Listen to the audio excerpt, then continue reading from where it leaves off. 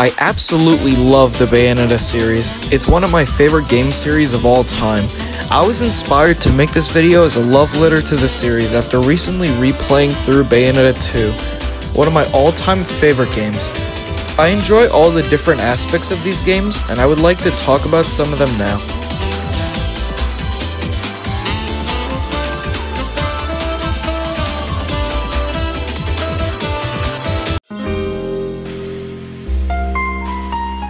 My first exposure to the world of Bayonetta was through her inclusion in Smash 4.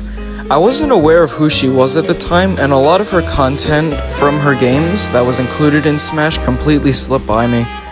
I decided to finally try these two games once they came out on the Switch. They looked like a fun time, and surely enough, they were.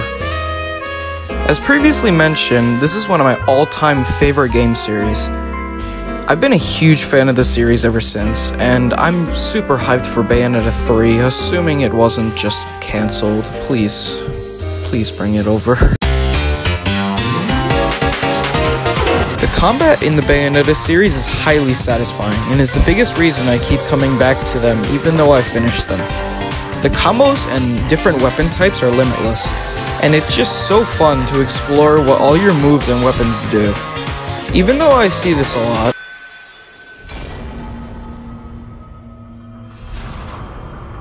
I still try and try again to perfect my gameplay. The games are challenging, but that's part of the fun. It doesn't hold your hand and expects you to master the gameplay on your own. Once you fully learn the game inside and out, it becomes very satisfying and very fun to run around and destroy everything in your path with various combos. While admittedly the stories of the Bayonetta games are not always the strongest, the characters, and especially the humor, keep me engaged all the way through.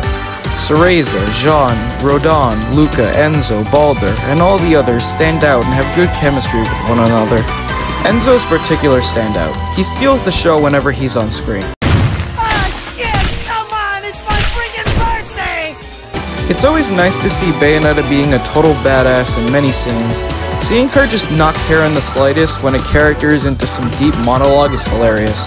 Rodin also has some funny lines when you enter his shop. Beautiful. The lore of the Bayonetta series is also quite unique and interesting. It's always exciting learning new details about the conflict between the Umbra Witches and the Lumen Sages.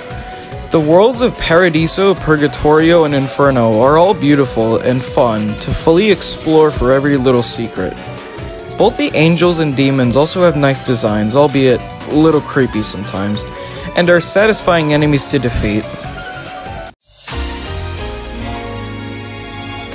The music in the Bayonetta series is nothing short of magnificent. It stands up there with some of the most iconic music in gaming history. Every track is so well put together and catchy that I often find myself listening to the OST outside of the games. It's also neat how they got the rights to some copyrighted songs, such as Fly Me to the Moon. Some of my personal favorites have to be Riders of the Light, Tomorrow is Mine, Mysterious Destiny, Red and Black, and of course, the iconic Let's Dance Boys. The video is filled with some of the music from the series, and I hope you check them all out for yourself after hearing it in this video.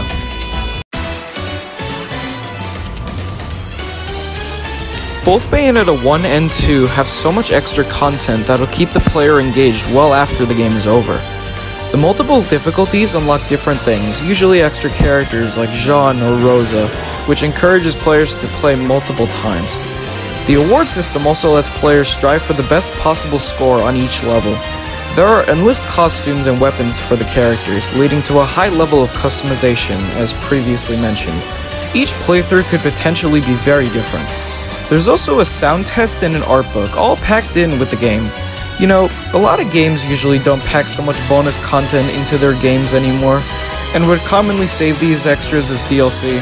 So it's very nice to see how Bayonetta manages to keep all this extra little goodies in the game.